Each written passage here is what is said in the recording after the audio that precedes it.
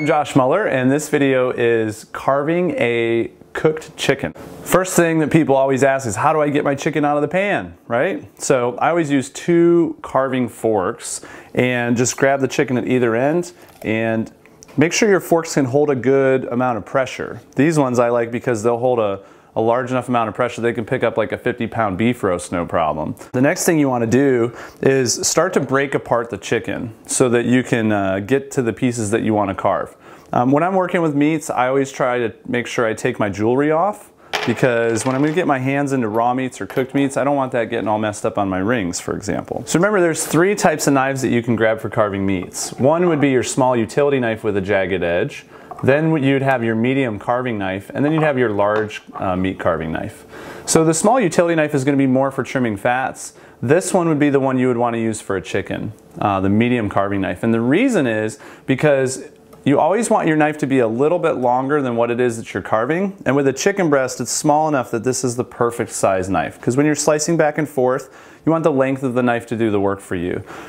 The large carving knife can be a little bit big for a chicken. It's more perfect for turkeys, hams, briskets, or tri-tip, larger meats like that. We're gonna separate the legs. A good chicken like this will just fall apart. That's when you know it's cooked perfectly. And you can just pull the legs off. Sometimes the bones might get stuck, and so you just want to expose those joints and use your knife to cut down through. Pull your wings off. I'm sure there's people in your family who love the wings, like me. And then just set those aside. After washing your hands, you want to come back to the actual chicken itself.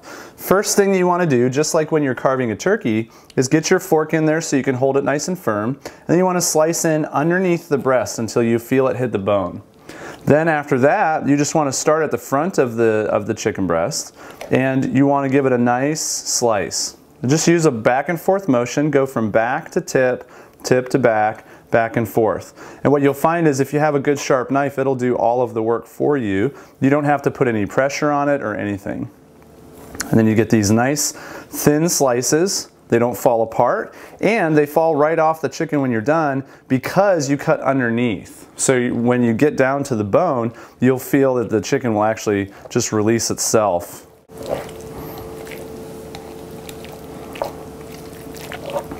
One other thing that you might like to do is just save the breast as a whole. So what you can do, grab again the chicken with your fork, and then go in and cut all the way up. You can feel it cut up along the bone. And then what you want to do is find the little spot right here where the chicken breast meets the backbone of the chicken. When you find that, then you just cut in and give it a nice stroke back and forth. You'll feel the bone all the way along. You just want to go all the way along it. That way you make sure you get the most meat off of the chicken as you possibly can.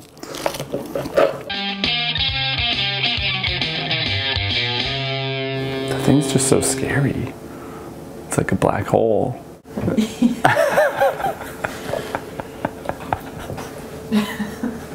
Are you on?